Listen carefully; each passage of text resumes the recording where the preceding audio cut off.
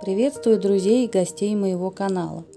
Недавно на рынке я купила гусиные яйца.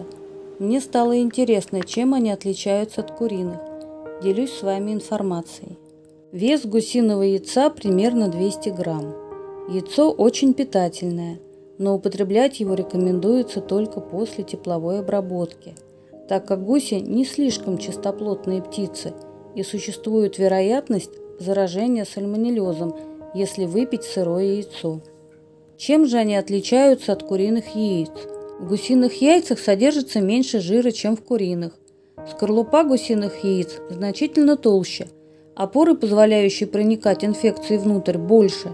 Из-за этого время термической обработки в 2-3 раза больше, чем у куриных, а срок хранения в несколько раз меньше. В составе гусиных яиц присутствует лютеин, который является известным антиоксидантом. Он помогает организму выводить вредные вещества, благодаря чему организм очищается и омолаживается.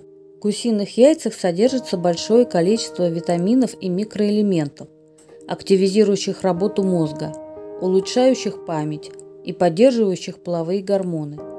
Если их регулярно употреблять, то сосуды очистятся от холестериновых бляшек и можно предотвратить развитие катаракты. Продукт разрешен к употреблению беременным женщинам.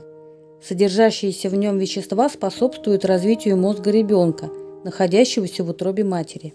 Считается, что гусиные яйца отличаются немного специфическим вкусом, но лично я этого не заметила. Думаю, это зависит от того, в каких условиях содержится птица. По-моему, по вкусу они от куриных ничем не отличаются. А что меня действительно впечатлило – так это большое количество желтка.